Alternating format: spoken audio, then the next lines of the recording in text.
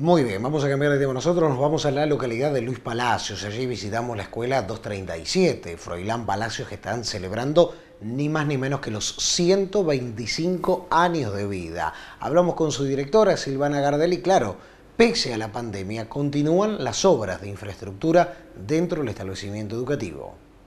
Bueno, tratamos de seguir, a pesar de esto, eh, haciendo cosas, eh, no solo en lo eh, académico, sino también en lo edilicio, eh, con la colaboración de la comuna, que realmente es un puntal muy importante en este momento para nosotros, para poder conseguir fondos.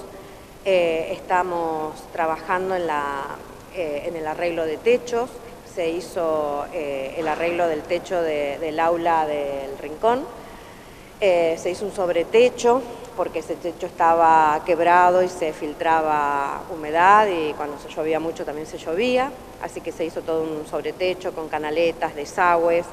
Se está haciendo una obra importante en los baños, pero para eso necesitamos aportes del Ministerio y es lo que estamos trabajando con Adrián, tratar de conseguirlo, porque en estos momentos tan difíciles donde no hay fondos para nada, eh, se complica mucho. Después se está haciendo el cerramiento de la cancha, algo largamente esperado.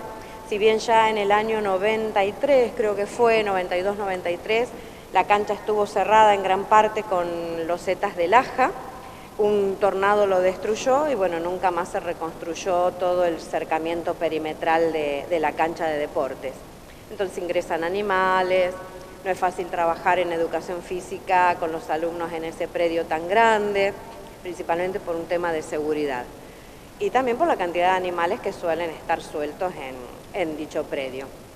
A través del Club de Leones, que se constituyó hace muy poco tiempo, ellos ganaron un proyecto a nivel internacional y destinaron esos fondos a nuestra institución, preguntándonos qué, obra estábamos necesitando con mayor este, eh, de mayor importancia. Y bueno, se le dijo que el cerramiento, ellos compraron todos los materiales y la comuna en este momento está aportando la mano de obra.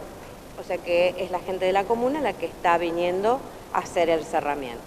Así que ya estamos en una, en una etapa intermedia, muy pronto vamos a poder ver eh, totalmente cerrado el predio de la escuela, que es algo que a nosotros eh, realmente nos preocupaba mucho el poder conseguirlo no es solamente hacer obras, sino el mantenimiento de la institución, que a pesar de que está cerrada, eh, el deterioro siempre ocurre.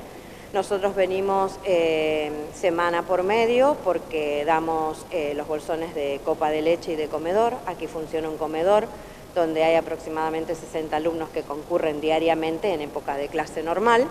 Así que ahora se distribuyen los bolsones de comida a las familias y tenemos 230 eh, alumnos en este momento en la escuela y se le da la ración de copa de leche y bueno, las familias que quieren venir a buscar el bolsón de copa de leche también pueden acudir.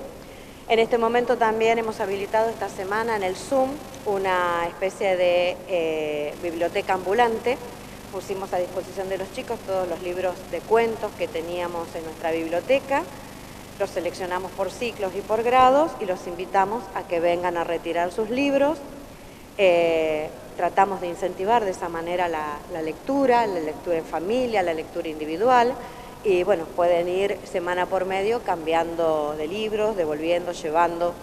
También con los años de sexto grado, sexto y séptimo grado están teniendo un plan de lectura. Eh, sexto grado se le ha regalado el libro del Principito y hacen lectura virtual con su docente. Y séptimo grado está trabajando con un libro de Shakespeare. Así que, bueno, los vemos muy entusiasmados porque estamos, tratamos por todos los medios de movilizarlos, de acercarlos, de que haya un vínculo con los compañeros y de que haya un vínculo con sus docentes también.